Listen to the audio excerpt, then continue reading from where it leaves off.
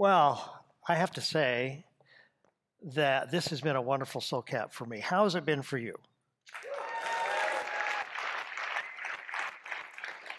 Yeah, I, I'm always really inspired and energized when I when I come back here.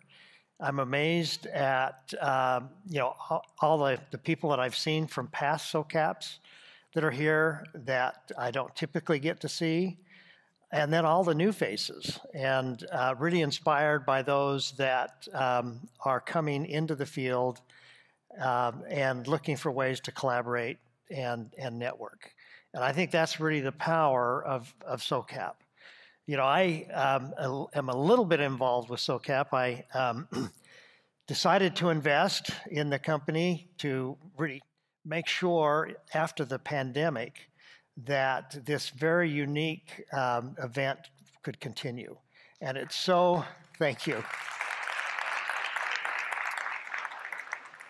And it's so heartening to me to see that it's not only continuing but it's thriving. And it's a real tribute to everyone here that um, is, has come to really try and make a difference in the world in which we live. We, uh, we're facing a lot of challenges. I think we also have opportunities in terms of the impact that together we can help to inspire and create. And that's the whole purpose behind SOCAP.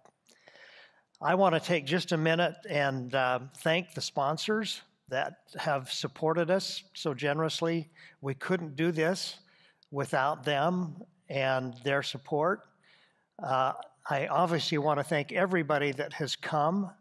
All of you here um, have really made this what it is. and of course, I want to really thank the team that has spent the time and the hours in preparation in all of the little details. I think we ought to give them uh, a big hand, the, the SOCAP team that has helped put this together.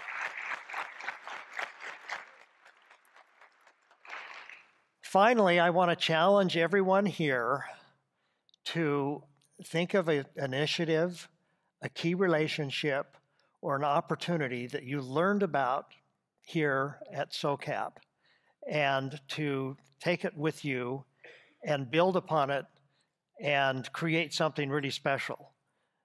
I would encourage you all to collaborate and look for ways to work together because that's the way we're going to really make a difference. Thank you again for coming. It's always great to come to SOCAP. I look forward to seeing you next year.